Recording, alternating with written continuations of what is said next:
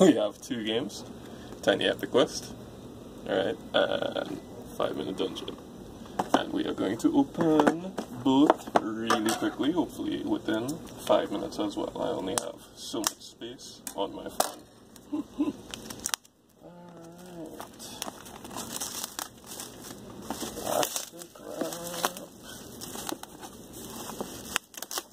There we go.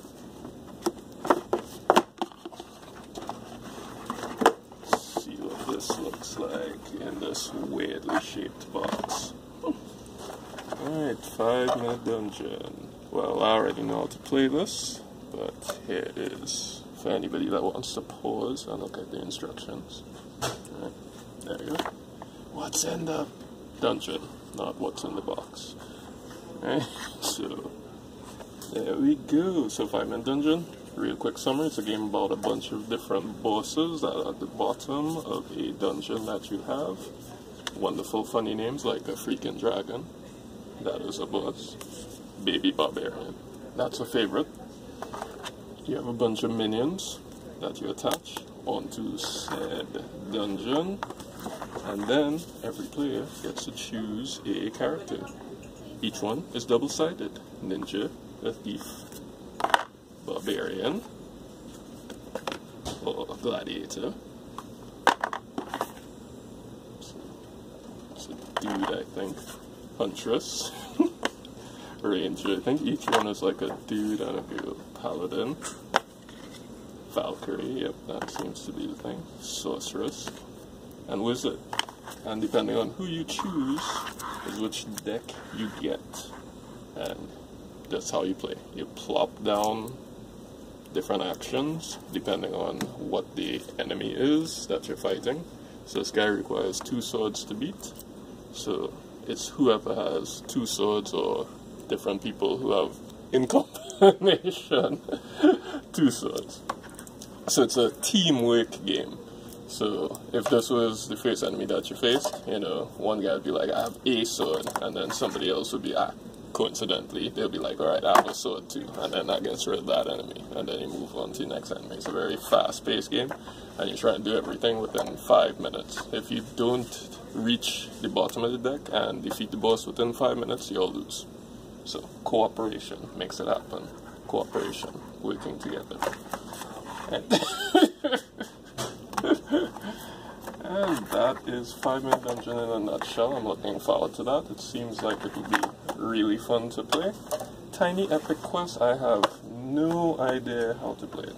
Well, almost no idea. It just looked cool and it got rated pretty highly. How much time we have there already? How much time passed? Three. Three minutes? Yeah. Cool. Just trying to make it like under five minutes to fit the theme.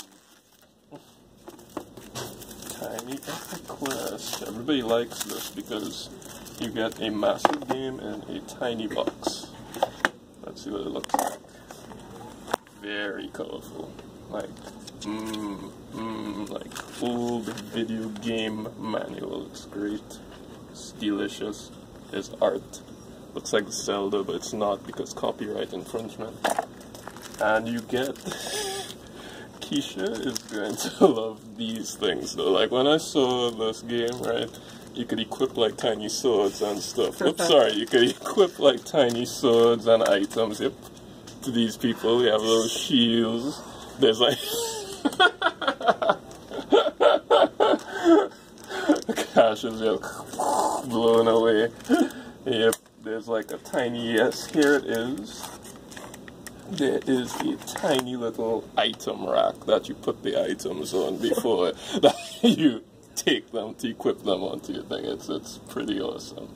So I look forward to I look forward to seeing how this plays out. It's supposed to be good. It got highly rated. A lot of people seem to like it. Um, supposed to take about a 45 minutes to an hour. So I made sure to buy one fast game.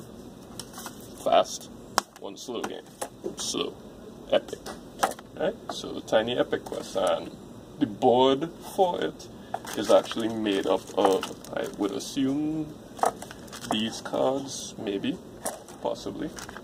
But if you saw in the booklet, you have like a pack of cards and you rearrange them to make your board. So the board is actually like different each time because it's fluid. So it's cool. Anyway that's it.